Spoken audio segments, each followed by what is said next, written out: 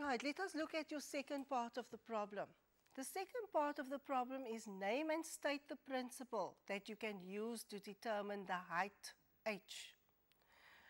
Now, remember what happens when once the arrow is inside your object, this object is going to move because the arrow has velocity. We also saw that the velocity of the object and the arrow at the bottom was 3,08 meters per second. So this object is now going to move to a certain height. Now whenever you move from one place to another, when you move from the bottom and you move to the top there, we have to look at mechanical energy. Now when can you use mechanical energy and what is mechanical energy?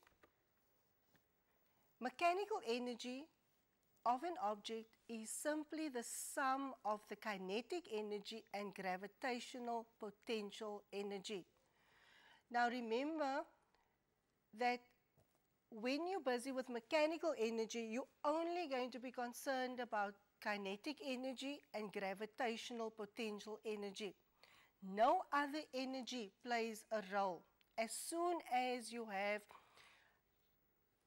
uh, energy because of air friction, we're not going to use conservation of mechanical energy.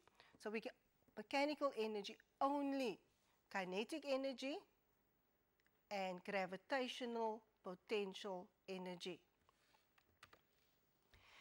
We know from 10 already that kinetic energy K of an object, I'm going to use the symbol K. Now remember you can use various symbols. You can use EK or we can use K for kinetic energy. In the rest of the slides you will see I'll just refer to kinetic energy as K. Kinetic energy of an object is the energy it possesses by virtue of its state of motion. So anything that moves has kinetic energy. Potential energy, specifically gravitational potential energy. The symbol that I'm going to use in my presentation is going to be U. Remember, you can use GPE or you can use EP. But for convenience sake, I'm going to use just the single symbol which is U. Of an object is the energy it possesses by virtue of its position in the gravitational field of the earth. And basically what we're going to look at is how high is it from your reference point. Now remember your reference point could be the table, your reference point could be from the ground. How high is it from the table? How high is it from the ground? Conservation of mechanical energy. This is the concept that we're going to concern ourselves with. Now, conservation of mechanical energy is simply the total mechanical energy of an isolated system is conserved. Conserved mean it remains constant. This simply means that the sum of the potential energy and the kinetic energy of an isolated system remains constant. And here we said that we're not going to take any external forces. Isolated means that you're only going to look at the two objects. In our example, we've got the arrow and we've got the ball. So we're only going to look at the arrow and the ball. We're not going to look at any other forces. We're not going to look at energy from, from um, air friction. We're not going to look at somebody pushing.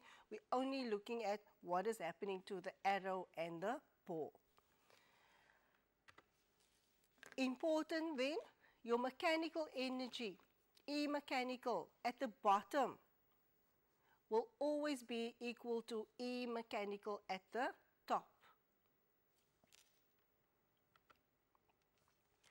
And in symbol form, we can say that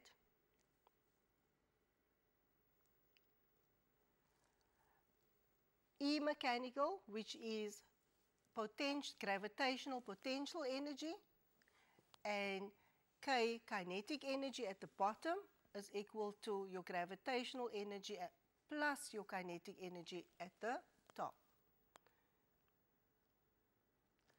Right, there was one question or two questions that came through. The first question is, can energy be transformed to another state? Now, remember that energy is always transformed. You can't make energy out of nothing. It always, it's always transferred from one form to another. For example, when the pen falls, then you've got gravitational potential energy.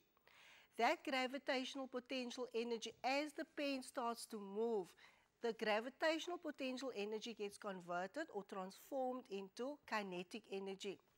When the pen lands on the ground, then you have sound energy and you have heat energy. So there's always a transformation of energy from one form to another. You can't destroy the energy. The energy always gets transformed from one form to another.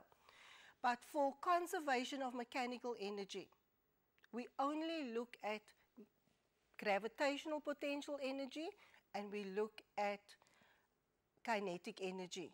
That is the conservation of mechanical energy because what we're keeping constant here is your mechanical energy. If we look at your slides now, so we're only looking at mechanical energy for this. Use conservation of mechanical energy if you have the following. Right? If we just look, when can you use conservation of mechanical energy? Only when conservative forces are present, mechanical energy is conserved. Now, conservative forces, another word for conservative forces is non-contact forces. Non-contact forces is when there's no contact between the force and the object that is moving. You cannot use, or the example there, gravitational force. When an object falls, there's no contact between the earth, the center of the earth and the object. The object will simply fall. You cannot use conservation of mechanical energy if there are non-conservative forces. Now, non-conservative forces are contact forces.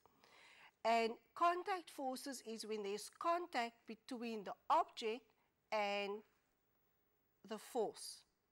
So if we, for example, air friction, when you use conservation of mechanical energy, there must not be air friction. As soon as there is air friction, you have to use something else, right? So you would use the work energy principle. You can't use conservation of mechanical energy. So make sure that when you read your problem, as soon as there's friction, don't use conservation of mechanical energy because then the mechanical energy is not conserved. Your energy that you have then at the top gets converted to kinetic energy and energy because of your air friction. So you can't use that, the work done by air friction. Okay, so important there only use it when there are conservative forces. Easy to remember conservative forces, there's no contact between the object and the force. Remember that a force is a push or a pull. So if I push the calculator, I am touching the calculator. So that is contact and that is known as a non-conservative force. If you leave the calculator, as soon as I leave it, then the calculator will fall on, on its own and there's no contact between the earth pulling it and the actual object. So that is a very important thing that you need to remember. Don't use conservation of mechanical energy when there's air friction.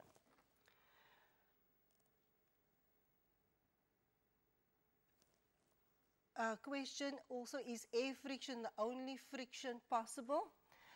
Now, the reason why I only used air friction is because when something falls, there's no contact um, with the ground. So the only thing that will make something go slower is the air pushing it up. You also get friction when you move an object across a surface. Then you've got friction from the ground. Okay, so there are other types of friction.